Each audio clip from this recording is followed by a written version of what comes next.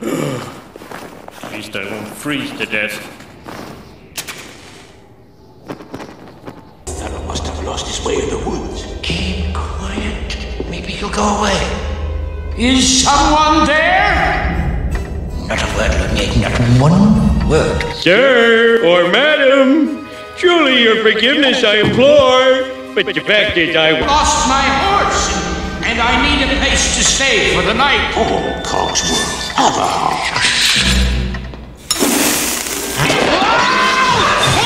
have to extend him an invitation to the palace, shall we? Swell. Incredible. Well, now you've done it, Lumiere. Splendid. Just peachy.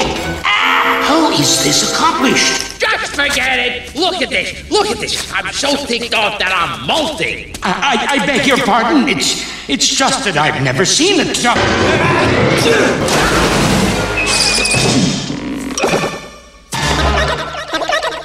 Oh, you are soaked to the bone, monsieur.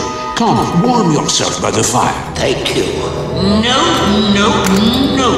No, what the master will do if he breaks here. I demand that you stop right there.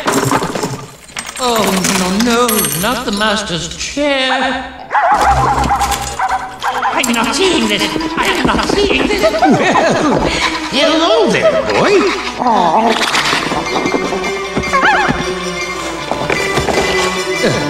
What service? All right, this has gone far enough. I'm in charge. How would you like a nice pot of tea, sir? It'll warm you up in no time. No tea. No tea. His mustache tickles, Mama.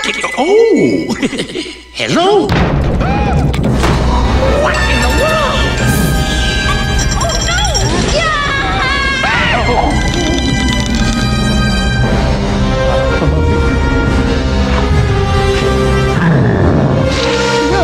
There's a stranger here.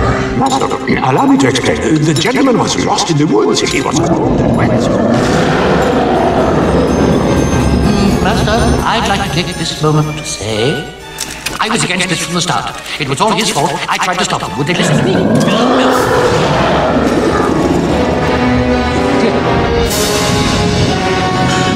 Who are you? What are you doing here? I, I, I was lost in the woods and, and You're not welcome here. I, I, I'm sorry. What are you staring at? Uh, nothing. So, you've come to stare at the beast, have you? Don't hurt me. I, I just needed a place to stay. I'll give you a place to stay. Oh, oh please.